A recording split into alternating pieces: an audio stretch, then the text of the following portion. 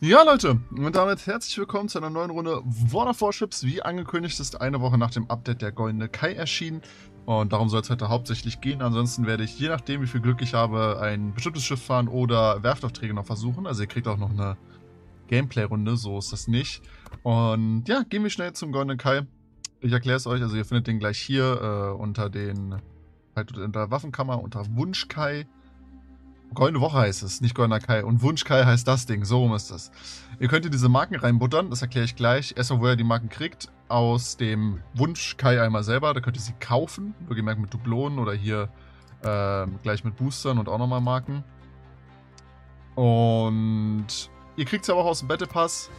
Äh, da sind die auch gerade drin, wenn man mal hier guckt in die Goldene Woche. Hier gab es davor schon ein paar, hier gibt es auch nochmal 150 und so weiter und so weiter. Hier am Ende gibt es dann nochmal, wenn man es dieses Mal schafft, für den Premium Pass 50. Also, ähm, ihr kriegt da auch schon ein paar raus auf jeden Fall. Und wie funktioniert das Ganze jetzt? Also, an sich ist es ziemlich simpel. Ihr müsst hier diese goldenen, wie heißen die Dinger überhaupt? Goldene Marken rein buttern. Einfach in die, ist wie Glücksspiel, so ein bisschen. Und äh, deswegen, es ist Glücksspiel. Und nach 90 Versuchen, wenn ihr denn noch nichts habt, kriegt ihr einen garantierten Drop aus der seltenen äh, Belohnung. Und nach 500 einen Drop aus der Hauptbelohnung. So, hier könnt ihr euch die Belohnungen ansehen. Also, es gibt einmal gewöhnliche Belohnungen zu 98%, seltene Belohnungen zu 1,8% und zu 0,01% die Hauptbelohnung. Die Hauptbelohnung besteht aus der Shikuma 2 in goldener Tarnung. Und ja, die seltenen Belohnungen bestehen aus japanischen Schiffen, Kohleschiffe vor allem und auch die Shikuma 2. Zu Shikuma 2 komme ich gleich. Und ähm, Tarnungen, die sehen folgendermaßen aus. So, und jetzt ist er ganz hübsch. So dieses Schwarz mit den goldenen, sieht eigentlich ganz geil aus. Und glänzt auch richtig schön. Also so schon schöne Tarnungen, aber natürlich ein bisschen ärgerlich. Schiffe ist das Beste, was man ziehen kann. Und ihr seht auch schon, wenn ihr ein Schiff zieht, kriegt ihr eine Vergütung, wenn ihr es schon haben solltet. Was mich wundert, weil eigentlich dachte ich, ähm, also, warte mal, hier steht gerade was Lustiges. Bitte beachtet die Shikuma 2 hat lediglich aufgrund eines Szens in der Nutzeroberfläche andere Parameter als die Shikuma 2 golden. Frage jetzt, was sie mit Parametern meinen. Also die Werte sind schon mal gleich. Aber wie gesagt, dazu kommen wir gleich. Und genau, dann kriegt ihr Vergütung. Äh, was mich wundert, wie gesagt, weil eigentlich sollte man erst alles ziehen und dann die Vergütung kriegen. Aber ich weiß es nicht, werde ich ja gleich erfahren. Vielleicht, vielleicht habe ich ja Glück wer weiß. Und zielseltene Belohnungen, solltet ihr eine gewöhnliche Belohnung ziehen, kriegt ihr auch trotzdem Marken. Zwar nicht so viel, dass ihr gleich nochmal machen könnt, dass ihr nochmal gleich starten könnt, aber trotzdem. Und auch äh, Booster etc. Also man kriegt immerhin ein paar Sachen. Buttert alle Marken hier rein. Da bin ich ehrlich, weil wozu aufheben? Und deswegen würde ich mal sagen, fangen wir mal gleich an. Vielleicht ziehe ich ja die Shikuma 2, ansonsten sage ich jetzt gleich noch was zum Schiff. Goldene Marken entfernt. Was habe ich gezogen? Ah, gut. Eine gewöhnliche Belohnung. Komm, ich habe nochmal 100 Marken.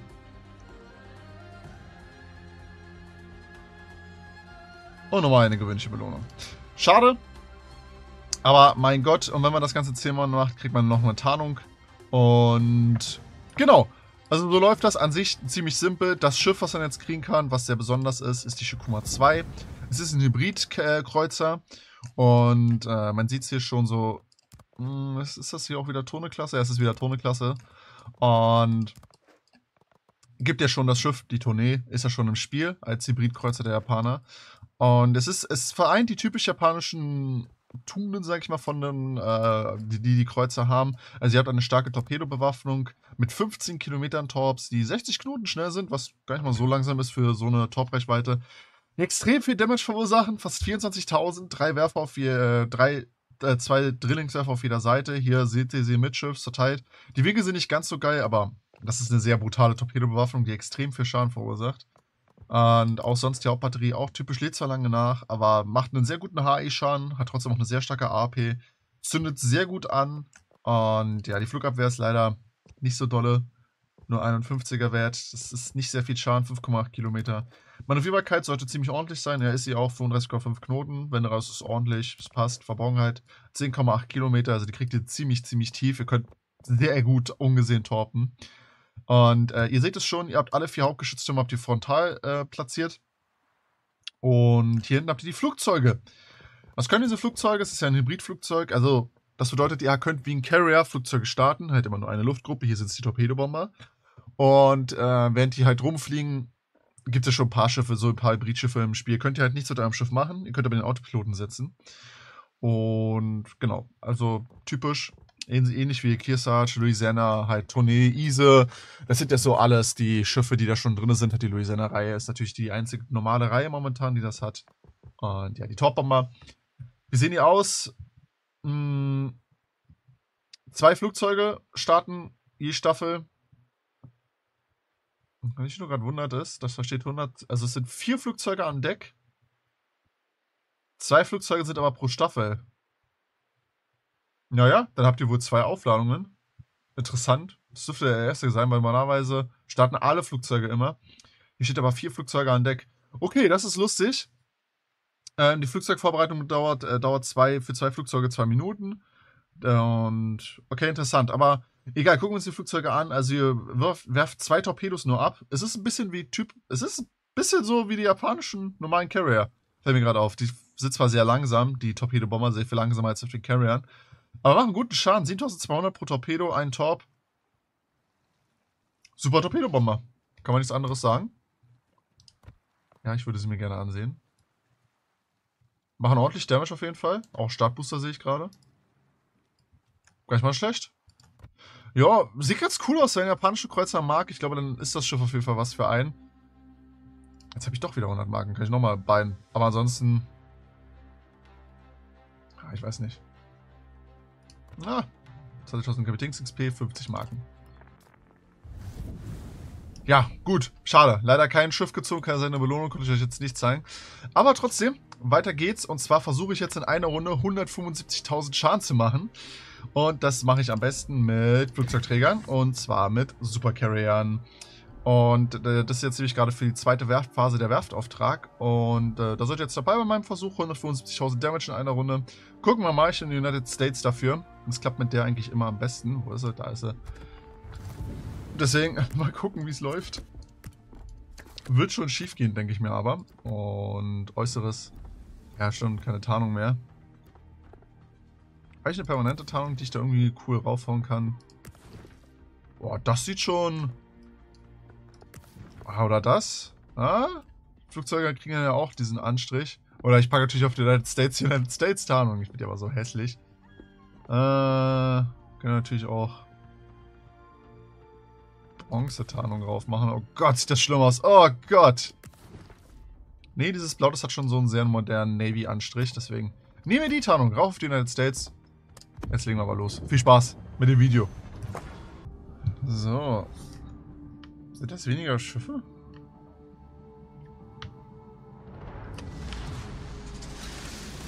Zwei, vier, sechs, acht,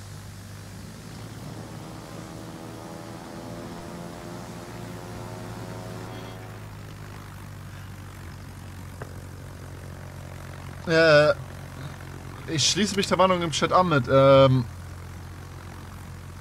es ist Donnerstag. Wir haben 13 Uhr. Okay, das Video sollte jetzt gerade online kommen, aber entschuldigt.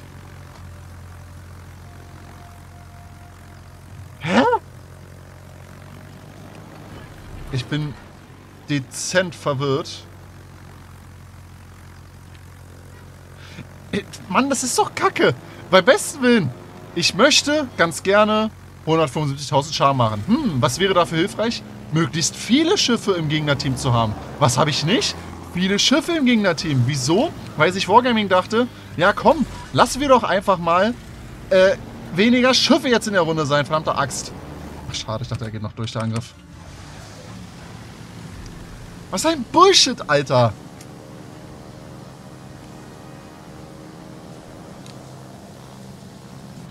Typical. Beim besten Willen, es ist so typisch.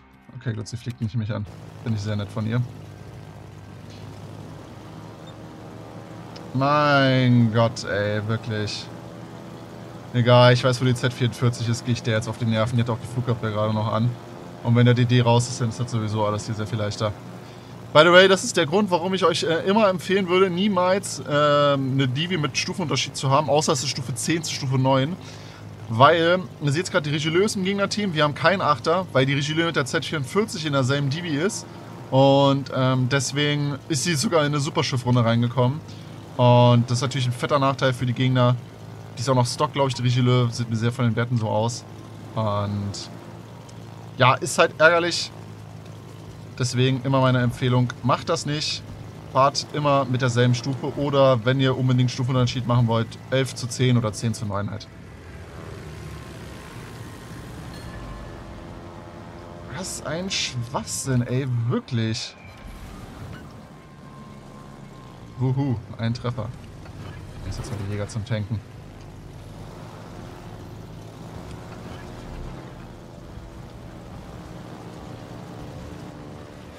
Komm, einen Anflug kriege ich noch raus mit den Bombern. Sind auch meine Schlachtflugzeuge ready. Nein, nein, nein, nein, nein, nein. Ah! Klickt. Hat sie den Brand gelöscht?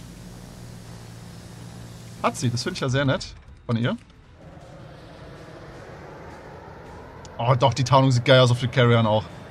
Richtig schöne Tarnung. Richtig, richtig schöne Tarnung. Wirklich. Sieht toll aus. Auf den Flugzeugen auch. Also gefällt mir, gefällt mir sehr, sehr gut. Richelieu, sehr nett von dir, dass du direkt den Brand gelöscht hast, den Einzelbrand. Weil das macht es mir jetzt sehr leicht, dich nochmal anzuzünden, meine Liebe. Deswegen nimm das mal bitte. Danke sehr. Ich brauche den Damage, deswegen gehe ich halt gerade auch auf den Achter damit, weil es halt der leichteste Schaden. Das Gute ist, wir haben noch einen Farmfürsten in der Runde. Allgemein große Schlachtschiffe, Kurfürst, Sonja Zen, Montana. Ja, Monte frisst leider auch schon ziemlich böse. Wirklich, es ist so typisch. Ich will 175.000 Schaden machen, das kriege ich so eine Runde. Boah, ist immer noch zu laut, das Game. Immer wenn ich Carrier fahre, ist das echt laut. Uh, da ist die Z.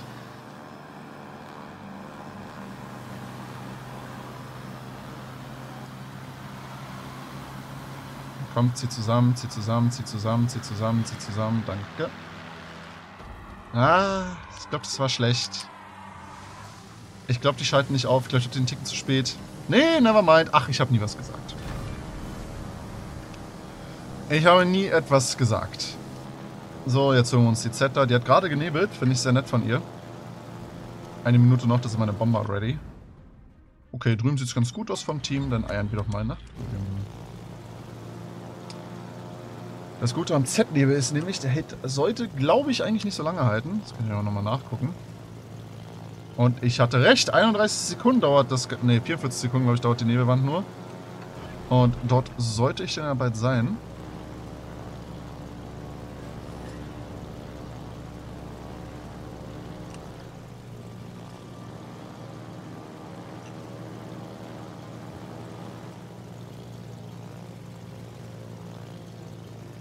So. Zeittechnisch. Nebel dürfte jetzt eigentlich so langsam verschwinden. Naja, nee, Slava, kann ich dir nicht geben. Meine Jäger halten 20 Sekunden. Ich kann die leider nicht so gut Jäger setzen. Ich werde jetzt schön warten, bis der Nebel weg ist. Ah, die Flugabwehr, jetzt ist es mal so smart, die Flugabwehr anzumachen. Ich weiß nicht aber auch, wo er genau steht. Und zwar fährt er jetzt gerade raus, also noch in der Nebelwolke hier. Ah, da ist er ja. Ich glaube, sie hat einen Top gefressen.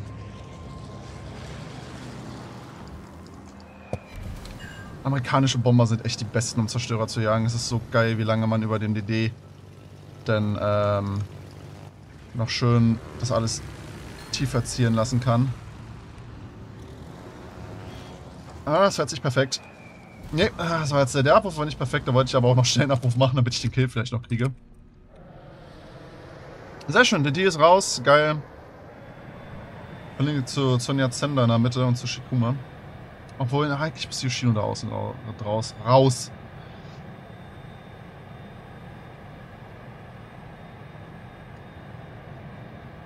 Wir haben auch zwei DDs gehabt und die nur einen. Das, das ist so merkwürdig.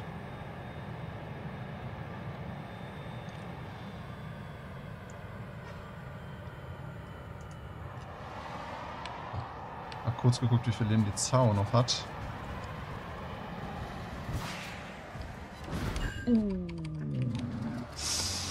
Die hat böse eingeschlagen. Eieieiei.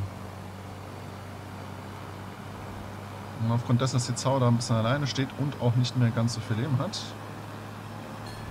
Ah, ich habe keine... Hm. Hier gerade auf, ich habe keine Jäger auf dem Bombern. Ich bin sehr nett, dass der Carrier da... Mein Freund, die halten 20 Sekunden. Ich kann dir keine Flugabwehrunterstützung geben. Es geht nicht. Verstehe es doch. Slava, die Jäger halten 20 Sekunden. Außerdem stehst du jetzt ziemlich gut und du bist ja jetzt auch gleich in meinem Flakbereich mit drin. Also beschwer dich mir bitte nicht weiter.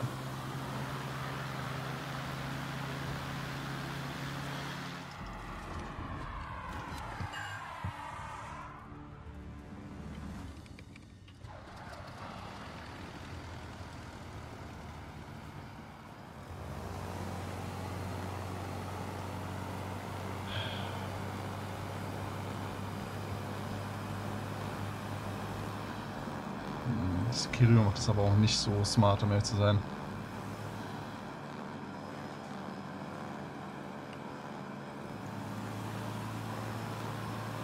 Naja, egal. Mal schauen, was die Slava gleich schreibt. Ist mir aber auch wirklich Latte. Mit dem Super nicht, sorry, ein Super Carrier ist nicht dafür da, äh, Flakdeckung zu geben. Es ist, er ist einfach nicht dafür da. Das ist auch nicht machbar. Ich muss leider jetzt richtig dumm droppen.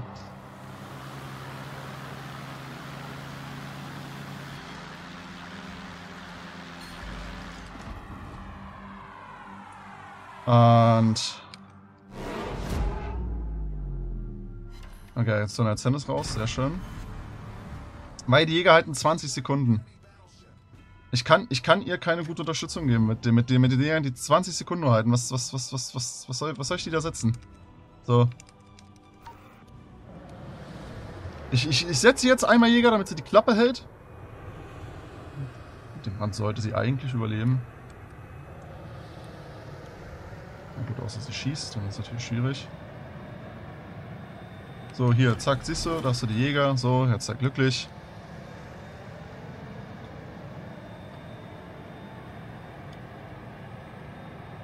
Die hat Nebel, die Shikuma? Ich habe gerade nur auf die Verbrauchsmaterialien eben gerade geachtet.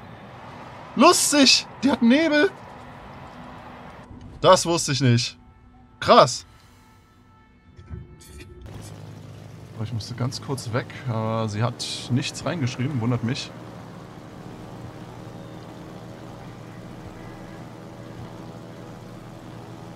Wie lange hält der Nebel der Shikuma? Das würde mich jetzt mal auch interessieren. 93 Sekunden. Gar nicht mal so bad. Ja, stimmt, ich habe nur auf die Voraussetzungen geachtet. Ja, sorry. Aber klar, ey, krass. Lustig, dass die Nebel hat, ehrlich. Ja, komm, der sollte doch jetzt mal weg sein, der Nebel, oder? Ah ja, da ist er. Sehr schön. Sehr schön. Oh, ja gut, okay, die ist tot.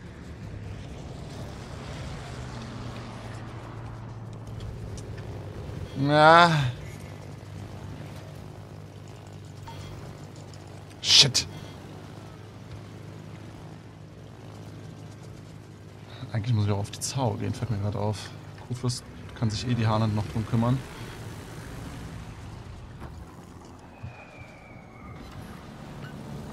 Zau hat auch nicht mehr ganz so viele Lebenspunkte.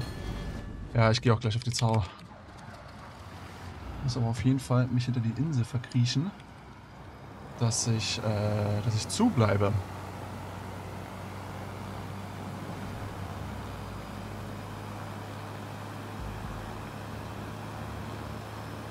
Nice. Kufus brennt noch. Ja, aber Zau muss raus.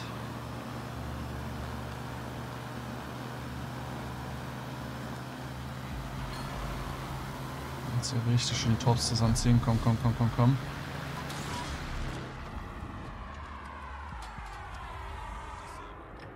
Nein, der Autopilot sollte nicht ausgehen. Du sollst mich einfach nur bitte hinter die Insel manövrieren. Danke.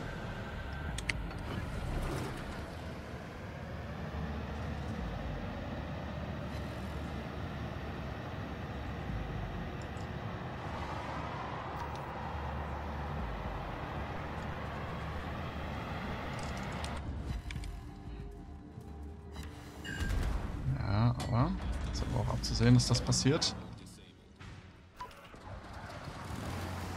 So, das Schöne ist... Jetzt mit den Bombern sollte die Zau eigentlich tot sein. Jetzt nicht, wenn die Rune auch noch ein paar Treffer raufkriegt. Boah, mein Damage ist sogar noch drin, meine 175.000. Mit etwas Glück sind die echt noch drin. Aber jetzt muss ich erstmal darum kümmern, dass die Runde gewonnen wird durch die Zao-Kille.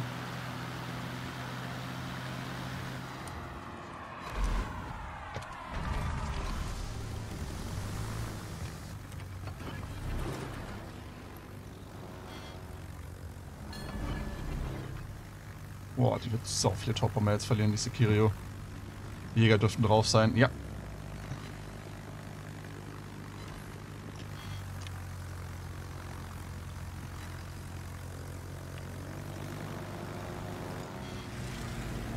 so einen Ticken weiter nach vorne fahren, fällt mir gerade auf.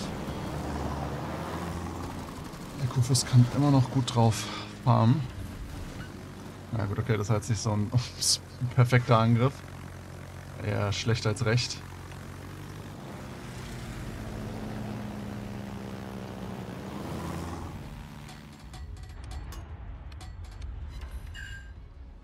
Oh, der war schön. 1000 Damage.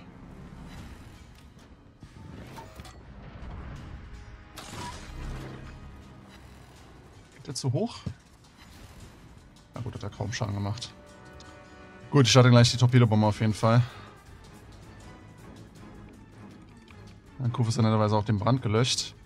Muss mich kurz leider ums Manövrieren kümmern, weshalb ich hier jetzt äh, nicht die Flugzeuge starten konnte. Sehr, sehr ärgerlich. Aber die Haaland macht es auch gut. Sie capt D. Jetzt auch gerade. Komm, von da kommen.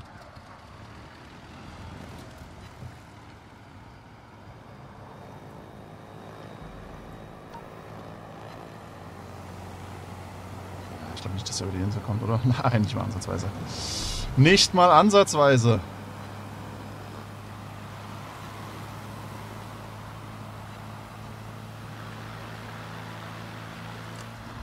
Die Nebenherren auf jeden Fall auch gleich fleißig mit den Bombern fahren. Bin auch schon sehr, sehr, sehr doll drauf.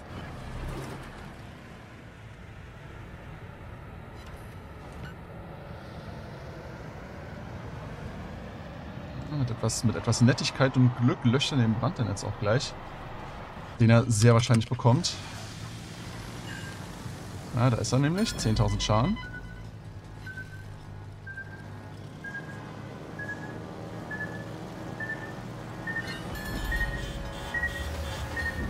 Ah, schade, drei Top-Treffer leider.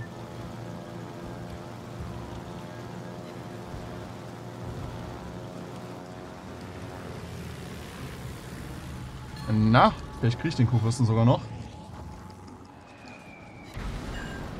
So, nochmal 11.000 Schaden. Und ich habe doch meine 175.000 gleich. Sieh mal an. Aber die AP-Bomber dürften böse jetzt reinpfeffern.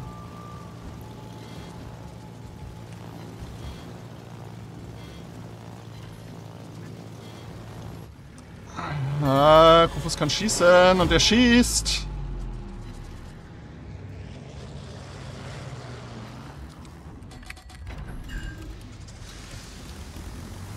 Nice. 175.000 Damage. Ich hab's doch in einer Runde geschafft. Was ein Schwachsinn, ey. Da hab ich das echt noch hinbekommen. Ah, komm, ey. Ein Anflug noch.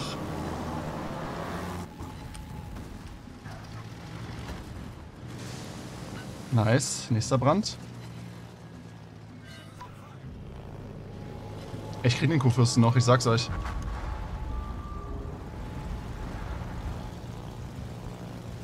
Du bist mein. Komm her, komm her, komm her, komm her. Ja, gut. Muss nicht mal mehr die Bombe droppen. Ich kann der Hana noch Jäger geben. Wenigstens einen äh, Angriff noch blocken. Bitte lass die Flugabwehr aus, Haaland. Bitte lass die Flugabwehr aus.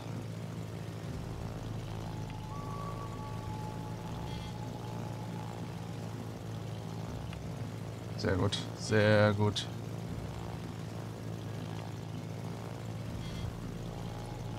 Wenn sie den Cap auch noch durchkriegt, wäre das auch nochmal sehr, sehr wichtig. Und sie tut das auch.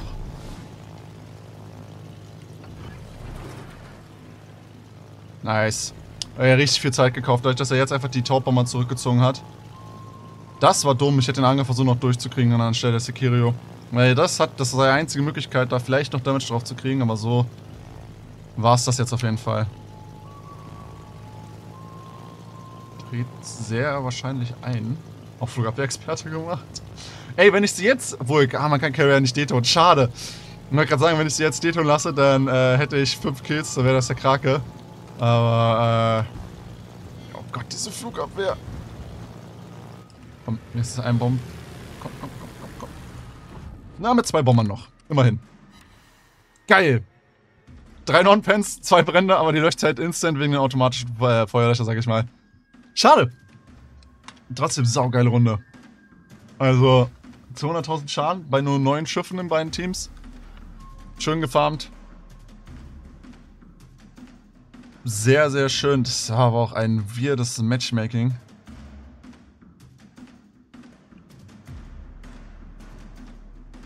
Auch dass, auch, auch, dass die Zerstörer da unterschiedliche Anzahl haben. Das ist halt schon. Also. Dass sie nach der Deleu haben, habe ich ja schon erklärt. Okay, verstehe ich, halt wegen der Z, weil die mit der in der Divi war. Aber dass sie zwei DDs haben, ist halt schon böse. Und dann auch zwei 10er DDs gegen eine 9er DD. Also.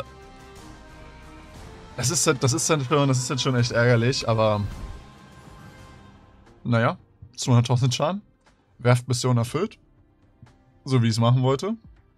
Die Special-Mission, nenne ich sie immer. Ach ja, um meine vielbeschwerdendes Lava. Du hast noch 29 Flugzeuge abgeschossen. Was machst du denn meine Hilfe? Boah, der kranke Durchschnittswerte. Er müsste es doch besser wissen. Das ist der beste Account, den ich je gesehen habe. Gut, klar, kann auch sein, dass es ein erfahrener Spieler war, der einen neuen Account angefangen hat. Dann hätte ich auch sehr viel bessere Werte, nicht so eine Werte, aber sehr viel bessere Werte. Aber 134.000 Durchschnittsschaden, das ist schon böse.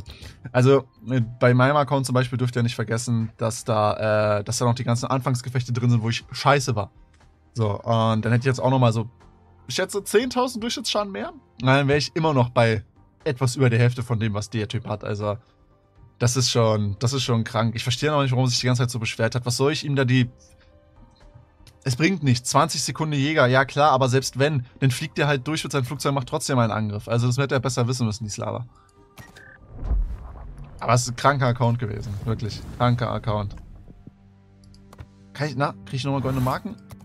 Ich glaube leider nicht. Nee, schade. Leider nicht, aber mit etwas Glück, vielleicht kriegt ihr nochmal einen super Container zum Abschluss. Hier, machen wir mal alles auf. Danke sehr. So, und jetzt hier nochmal. Komm. Ah, schade. Kein super Container für euch zum Abschluss. Tut mir leid. Ich hoffe, es hat euch Spaß gemacht, ähm, Goldenen Kai erklärt zu bekommen. Wunsch Kai, Goldenen Kai, ich sag's immer noch. Und dass wir uns wiedersehen. Bis dahin, macht's gut. Ich werde auch bald wieder streamen, weil jetzt die erste Uniwoche, die war ein bisschen anstrengend. Äh, weil Stundenpläne und so weiter und her schieben, etc. etc. Es ist halt Uniwoche, die allererste, wie gesagt. Und äh, Montag kriegt ihr dann wieder Bescheid, wann ich wieder streame. Ich versuche am Wochenende auch schon zu streamen. Das sollte tatsächlich klappen. Und bis dahin, macht's gut. Tschüssi und vielen Dank fürs Zusehen.